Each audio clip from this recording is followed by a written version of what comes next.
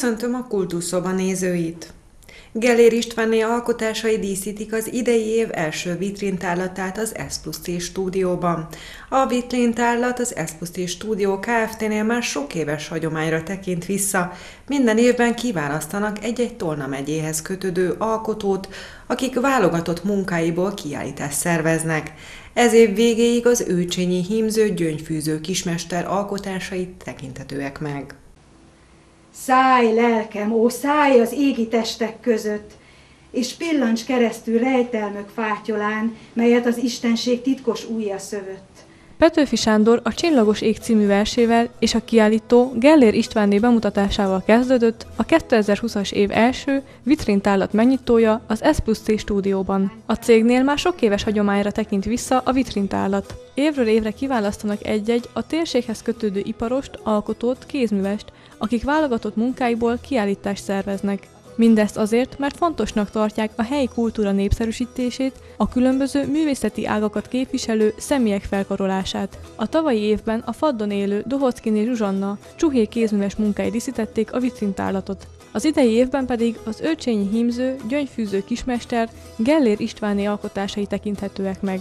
Én Decsre a Gyöngyös Bokrétába jártam, és ott a, az énekes társaim, meg a táncos társaim ott hímeztek és gyöngyöt fűztek, és én is becsatlakoztam közéjük, és a apátiné járt, Anna néni járt le tanfolyamot tartani, és attól tanultam a színes hímzést. Ebbe értem, mert én őcsénybe születtem, és és ebbe a közegbe éltem, ott szőtek, fontak az asszonyok, hímeztek, nagyon híres hímzőink voltak öcsénybe, és hát eh, próbáltam ápolni én is a hagyományokat. A sárközi színes hímzés, a jegykendő mintánk van, a, a bíborvég mintánk és a halottas párnánk én, én inkább a jegykendő mintákat és a vég mintákat szeretem hímezni.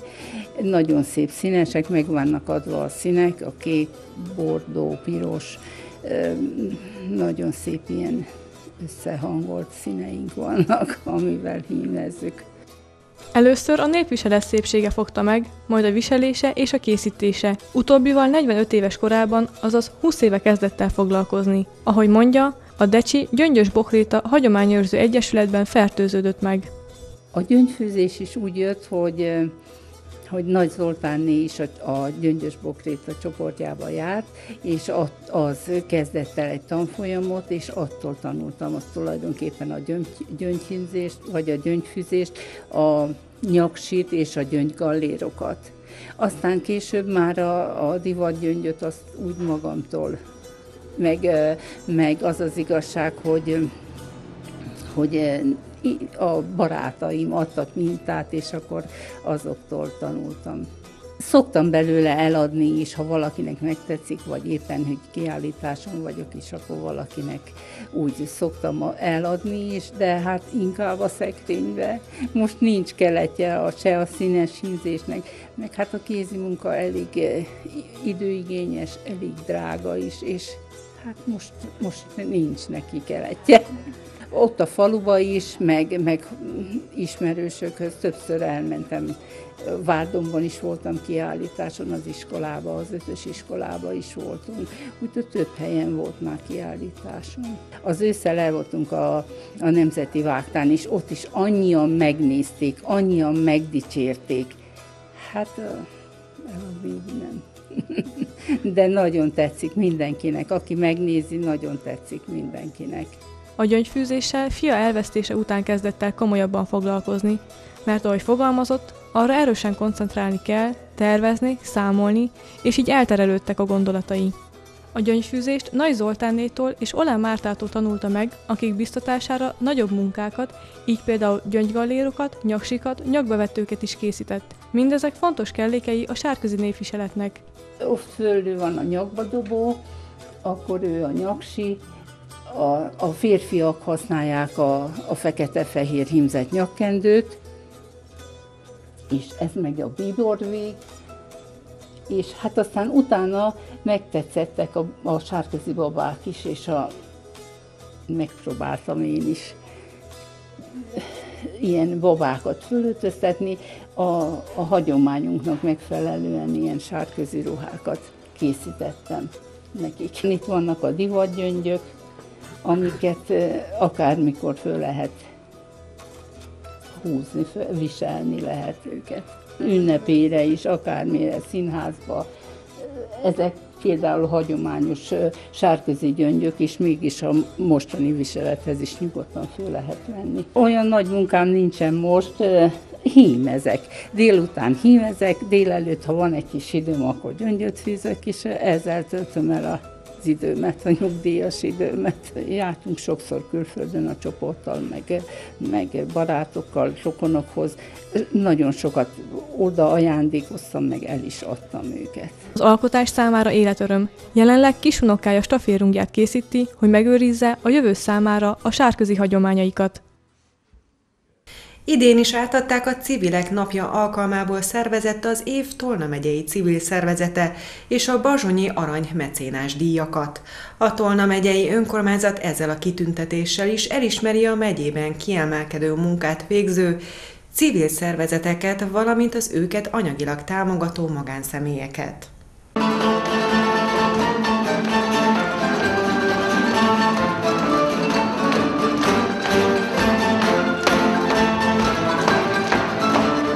Tavalyi év civil szervezete díjat elnyerő Bogyiszlói Hagyományőrző Egyesület táncosai nyitották meg az idei díjátadó ünnepséget. A február 1-én ünnepelt Civilek Napja alkalmából szervezett több mint tíz éves múltal rendelkező díjátadó ünnepségen idén az év Tolna megyei civil szervezete elismerésben a nagycsaládosok Tolnai Egyesülete részesült. A több mint két évtizede aktív egyesület a családnak, mind a társadalom legkisebb, de legfontosabb egységének értékeit hangsúlyozza. Mi 1997, tehát már 23 éves születésnapunkat ünnepeltük január elején. A három vagy több gyermekes családok tartoznak körünkben. Miért fontos? Hát első, ami nagyon fontos, a gyerekek szeretete, de azt hiszem ez bizonyítja a családjainkban felnövő gyermekek száma is, három, négy, sőt öt gyermekes családjaink is vannak és úgy gondoltuk 23 évvel ezelőtt, hogy alakítsunk egy olyan közösséget, ahol először is jól érezzük magunkat, azonosak a gondjaink, örömeink, bánataink, és így jöttünk létre, és azt hiszem, hogy életképesek voltunk, ha már ennyi ideet csináljuk, és reméljük, hogy ezután is csinálni fogjuk. Először is mi példát szerettünk volna, és szeretnénk mutatni a gyermekeinknek azzal, hogy a szabadidő hasznos eltöltésére programokat szervezünk, a, a közösség alakításba példát mutatni, rengeteget kirándulunk, csatlakozunk az Országos Nagycsaládos Egyesület által szervezett országos nagycsaládos találkozókhoz, vagy házasság világnapja, tehát amit ők szerveznek, és ezáltal az országot is megismerhetjük, mert például a találkozók mindig különböző helyszíneken vannak, voltunk már Szarvason, Debrecenbe, legutóbb Szentendrén, tehát azt hiszem ez mind-mind hozzásegít bennünket ahhoz, hogy, hogy egy jó kis közösség legyünk, jól érezzük magunkat együtt, és én azt hiszem, hogy nálunk nem gond az, hogyha megcsörren a telefon, hogy valahol segíteni kellene valamiben. Nálunk ez természetes, hogy megyünk és segítjük egymást. Nem kimondottan egy akcióban, hanem, hanem az eddig elvégzett munkánk jutalmául, mikor tíz évesek voltunk, akkor megkaptam a Noé díjat, de ez nem nekem szól, ez mindig ugye az elnök veszi át az Egyesületnek, tehát elismerték a munkánkat, illetve 2019-ben több évtizedes a családokért végzett munkáért hűségdíjat vehettem át Budapesten, tehát az Országos Egyesület odafigyel a, a helyi tehát egyesületekre, és bizony, tehát hála Isten, tehát nem csak, hogy odafigyel, hanem azért erkölcsileg megköszönni azoknak a munkáját. Itt nálunk hét tagú vezetőség van, tehát ő nélkülük, tehát egy személyben nem lehet itt csodát csinálni. Nagyon jó vezetőségünk van, mondhatom, tehát tényleg egy célért dolgozunk, együtt rezdülünk mindenre, és így sikerült elérnünk ezt, és hát nagyon örülünk, hogy sikerült a az évtorna megyei civil szervezetek kitüntetést megkapni, Tolnán már megkaptuk jó pár évvel ezelőtt a Tolna város, tehát a civil szervezetek kitüntetés, és most sikerült a megyébe is. A Tolna megyei civil közösség összetartó ereje is jól megmutatkozik a díjátadón, mondta Fehérvári Tamás, a megyei közgyűlés elnöke. Úgy értékelte, hogy folyamatosan nő a civil szervezetek száma, és az általuk megvalósított rendezvények minősége, a bevont személyek száma is növekedés mutat. Az elmúlt időszakban újabbak alakulnak, újabb települések jelentkeznek az értéktár mozgalmunkba, újabb települések kérik a, az éves rendezvényeinken való szereplés lehetőséget, ugyan növekszenek azoknak a száma, akik szeretnének megyenapot rendezni, tehát valamilyen irányba elindultunk. Én azt gondolom, ha ezt folytatjuk, akkor egyre több eredményt fogunk elérni, és az ember a legfontosabb. A civil szervezetek olyan munkát végeznek, amelyeket az állam, a hivatalos szervek nem tudnak vagy nem akarnak ellátni. A civilekre, a döntéshozóknak is oda kell figyelniük, és támogatniuk kell őket, emelte ki többek között Potápi Árpád János, nemzetpolitikáért felelős államtitkár. 1946-ban egy belügyminiszteri rendelettel tiltották be Magyarországon a társadalmi szervezeteket, és 1980-as évek végén alakultak újjá ezek a szervezetek, és azóta pedig gombamód szaporodtak el a településeinken a civil szervezetek. Ma azt mondhatjuk, hogy Magyarországon körülbelül 60 ezer bíróságilag, tehát törvényesen működő civil szervezetről tudunk, de tudjuk azt, hogy ennél sokkal-sokkal többen vannak érdemes az ő munkájukat támogatni, mert különben ez olyan, mint az ételnél a só, meg a bors, meg a paprika, hogy az ételnek attól van íze, így egy-egy településnek, megyének, vagy akár az országnak is nyugodtan mondhatjuk azt, hogy a közösségi ereje a civil szervezeteken is múlik, Úgyhogy amikor a civil szervezeteket elismerjük és támogatjuk, akkor az önmagunk életét is ismerjük el, illetve támogatjuk és tesszük könnyebbé. Állami szertként, önkormányzatként korlátoltak a lehetőségeink, ha bár sok mindenre kiterjed a figyelmünk.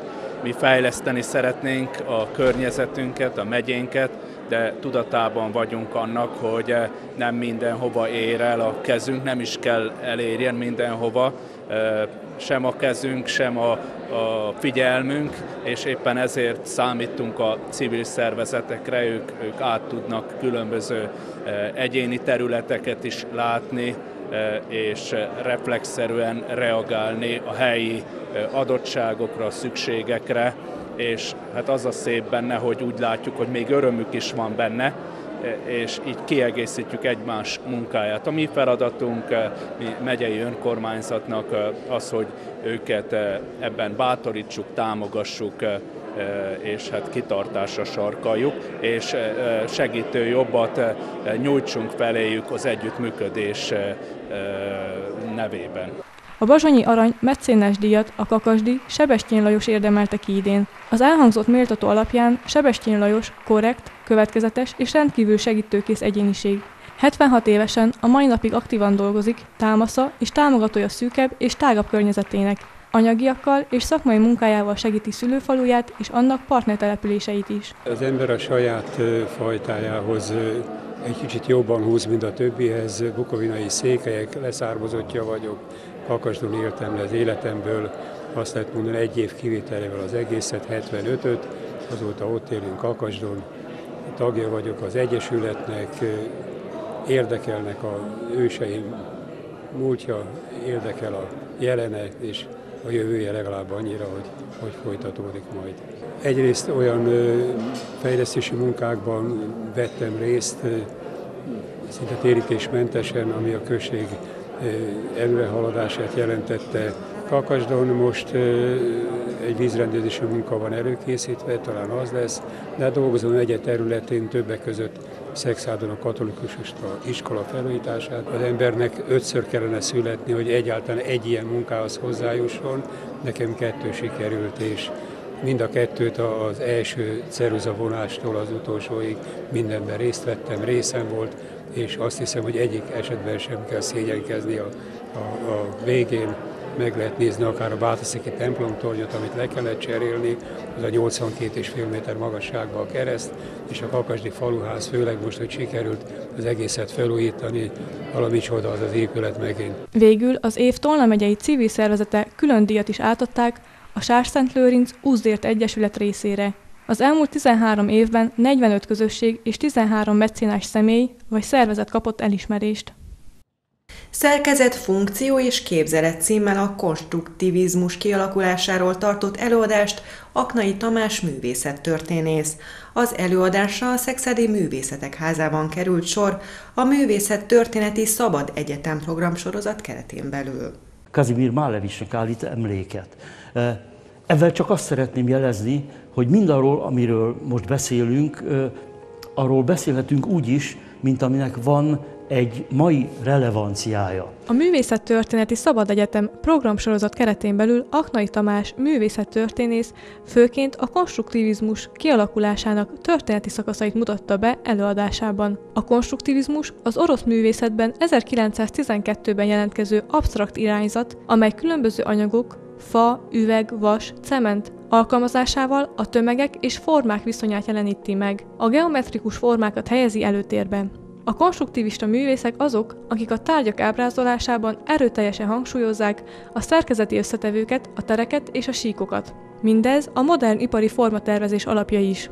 Rendkívül termékeny időszak volt a 20. század első évtizede, és benne a racionális törekvések igen rangosak voltak, és igen differenciáltak, tehát szükség volt arra, hogy beszéljünk a futurizmus történetéről, erősen társadalmi érdeklődéssel telített az átalakuló és modernizáló do Itália problémáiról szóló, azokról üzenő művészeti irányzat volt.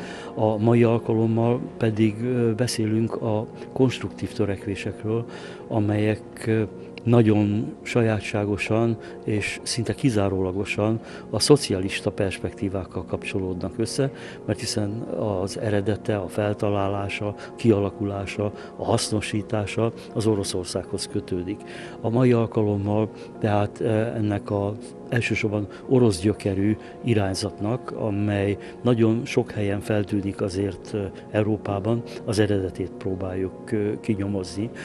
Így aztán nem csak Oroszországról fogunk beszélni, és az orosz avantgárd fontos alakjairól, mint a Vladimir Tatlin vagy a Kazimir Málevics, hanem a magyarokról is, akik között Kassák Lajos és az aktivisták rendkívül komoly szerepet játszottak, illetőleg olyan alkotókról, mint amilyen a Pete Mondrian volt, illetőleg az őket követő, már többféle irányzattal kapcsolódó, tulajdonképpen európai érvényességű alkotókkal, mint amilyen a Mohai Nagy László volt, és a konstruktivizmusnak a neováltozatai, amelyek elkísérnek bennünket napjainkig. Ebben a az elvonatkoztatott és kicsit valóságidegen szerkesztésmódban, ebben a munkamódszerben, aminek alapja egyfelől a redukció, másfelől a geometrikus építkezés, ennek a felületeit olykor a mindennapi élet valóságából vett tárgyak, dolgok, mintázatok töltik fel a szimulatív, vagyis hát az utánzáson alapuló műalkotásnak úgy tűnik, hogy a 20. század első évtizedében befellegzett.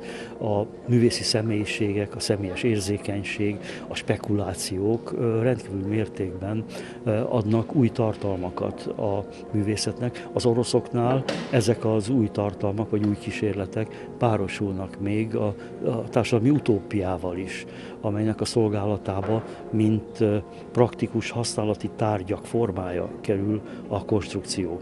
Erdélyben a brassói Matisz Tolsi János művészetének egyik jelentős korszaka illeszkedik be a konstruktivizmus stílusirányzatba. Az erdélyi alkotó behatóan foglalkozott a mozgalom elméleti kérdéseivel is.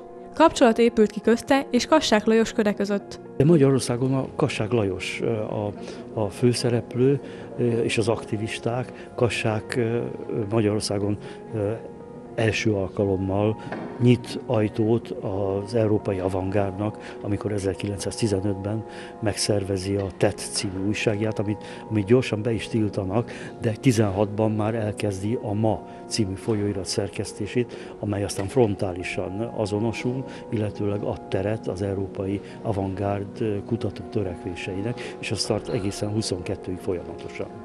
Megpróbálok kicsit távolságot tartani a, a dolgok megvilágítását szolgáló teóriáktól, és megpróbálok szép, jó minőségű képeket vetíteni minden alkotótól, és megpróbálom viszonylag plastikusan érzékeltetni, hogy milyen nemzeti karaktere van olykor ennek a konstruktív törekvésekre visszamenő mozgalomnak, és talán az is érdekes lesz, hogy megnézzük a mai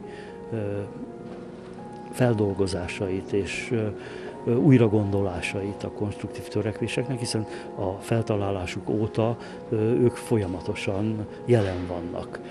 Egy nagyon rövid vázlatban én például utalok a Viktor Vazarelli kutatásaira, a Barcsai Jenő kutatásai, a Kornis Dezsőre, akik geometrikus típusú műveket csinálnak, és hát ugye a, a mai levegőben ott van a Jármeszki István, és ott van az Aknai János, tehát bőséggel ad lehetőséget a mai konstruktív törekvések sora arra, hogy egy kicsit történeti formákkal és okokkal magyarázzuk az ő létezésüket. A Művészettörténeti Szabad Egyetem előadás sorozata ebben a fél évben a 20. századi művészetfejlődés vonalát követi végig. A folytatásra február 24-én kerül sor.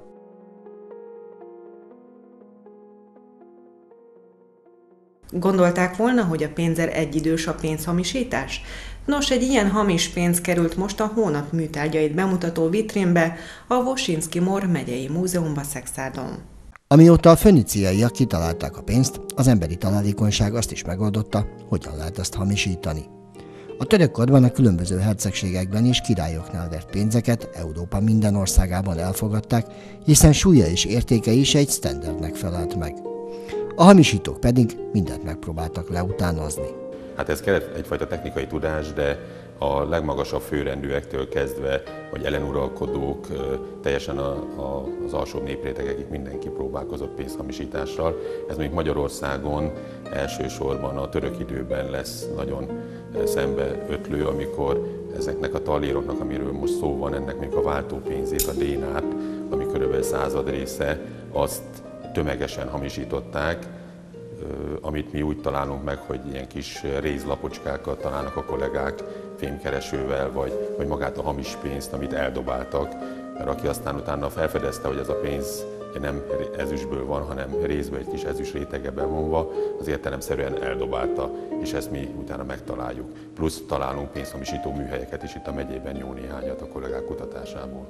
Aki tüzetesebben megvizsgálja, az azért rájött arra, hogy itt valami turpisság van, mert nem eredeti ez a pénz, mert egy kicsit eltért a, az éremkép, a felirat, de a köznapi használatban valószínűleg a, a legalsóbb népréteg, akik nem tudtak írni, olvasni, számukra ez elfogadható volt, tehát ezüstnek tűnt. Valószínűleg, amit az előbb beszéltem, hogy eldobálták a pénzt, azok az ilyen pénzváltók, vagy például egy révnél, ahol ugye fizetni kellett vele, és ott azért olyan emberek szedték ezt a pénzt, akik ismerték, és azok szúrhatták ki, úgymond. De például nagy tömegben ezek, ezek átmentek a rostán. A dénárok azok olyan, olyan kis súlyt képeznek, hogy ez nem feltűnő.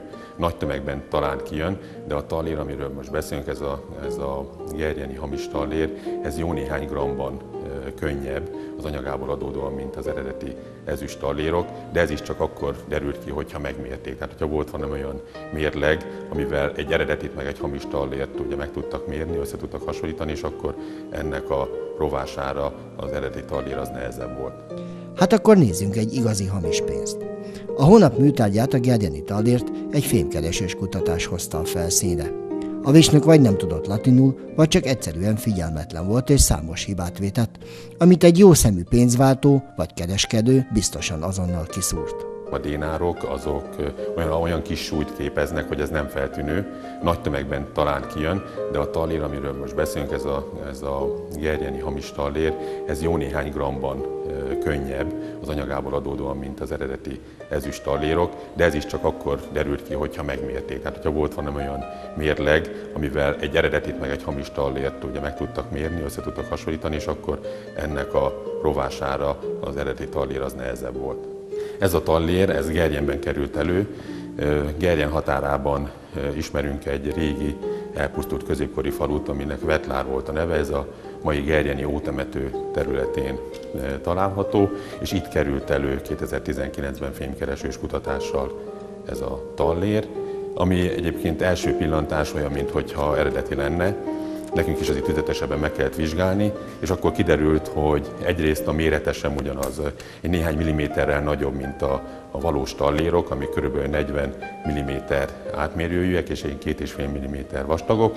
Ez egy 43 mm-es átmérős pénz, és a súlya ennek ellenére, hogy nagyobb, könnyebb, egy 4-5 grammal könnyebb, ugyanis ennek a belső magja az réz, és csak kívülről egy ezüst réteggel vonták be. Tehát ezért más. Plusz maga az éremkép is sok helyen eltér az eredetitől. A második Ferdinánd tallérjának a mintájára verték ezt. Valamikor 1580-as években készülhetett ez a pénz, vagy a környékén, mert arra hasonlít azokra a tallérokra, de hát nem úgy néz ki maga a főherceg sem, akinek a képére verték. Kicsit a szakállamás, a a ruházata más, a felszerelés más, tehát a jogar más, ami a kezében van, és más a címere, teljes mértékben előtt, illetve igénytelen hamisítványnak látszik más a korona, a főhercegi korona, ami a címerben van, illetve hát a köriratban vannak tévesztések, eleve betűtévesztés, meg nyelvtani hibák. Tehát ezek alapján azért egy modern kutató könnyen kiszúrta. Valószínűleg abban a korban is, aki tüzetesebben átnézte, az látta, hogy, hogy ez egy, ez egy hamis pénz. De ha mellé teszünk egy eredetit, akkor látszik, hogy, hogy ezért máshogy néz ki. Ez így 1540-es évektől van 1690-ig, és ez körülbelül ide, ide lehet betenni, tehát ilyen 1580-90, tehát valahol ezen a részen vagyunk. A geleni hamis pénz is valószínűleg egy eldobált érme volt. Az eredeti tallérokat nem nagyon dobálták el, amik előkerültek, azok elrejtett kincsleletekből származnak. Az Árpád-kortól kezdve vannak feljegyzések arra, hogy korabeli hamisítványok, hamisításokra derülnek, derül fény. Eredetileg jószágvesztésre ítélték azt, akire kiderült, hogy hamisított. Ebből ki is derül, hogy általában nem a jobbágyok hamisítottak, hanem, hanem a főurak, a nemesek hamisítottak a saját várukban. Van erre forrás, hogy egymástól úgymond rabolták el az ötvösöket, egy jófajta ötvöst, aki egy hamis pénzverőtövét ki tudta vésni, és akkor így akár több százezer pénzt is vertek. Hogyha erre természetesen az uralkodó rájött, akkor hát büntetésre számíthatott az illető. Aztán később az olyan időszakban, amikor, amikor már mondjuk a török helyzetben a, a központi hatalom gyengébb, akkor jobban elszaporodik a pénzhamisítás, és akkor már úgy néz ki, hogy az alsó néprétegekhez is eljut ez a pénzhamisítási hát, divat, hullám. Például a, a török időben a délvidékről felvándorló, vagy északra Magyarországra felvándorló rácokhoz kötik például a pénzhamisítást, ezeket a pénzhamisító műhelyeket, amit a kollégák találtak. Felségárulásnak minősült a pénzhamisítás. Azért azt, azt se kell elfelejteni, hogy maguk az uralkodók is rontották a pénzt, az nem számít pénzhamisításnak, tehát minden évben újabb és újabb pénzt adtak ki, amelyben mondjuk kevesebb volt a nemes tartalom. De hát ez, ez egy királyi szokás volt, és az be kellett azt a pénzt váltani, tehát ők rontották a pénzt, ha más valaki hasonló dolgot követett el, az hamisította a pénzt. Tehát az uralkodók ezért később már nem csak jószágvesztéssel, hanem, hanem élet, tehát fővesztéssel is járt a büntetés, hogyha valaki rábizonyították, hogy pénzt hamisított. Ma a numizmatikusok szemében egyediségükből adódóan magasabb értéket képvisel egy-egy ilyen tallér, mint az egykori hivatalos fizetőeszköz. Sőt, ma már egy egész iparág fejlődött ki az egykori pénzek hamisítására vagy újraverésére, mert a piacon igen keresettek a régi vagy különleges pénzek. Köszönöm a figyelmüket, viszontlátásra!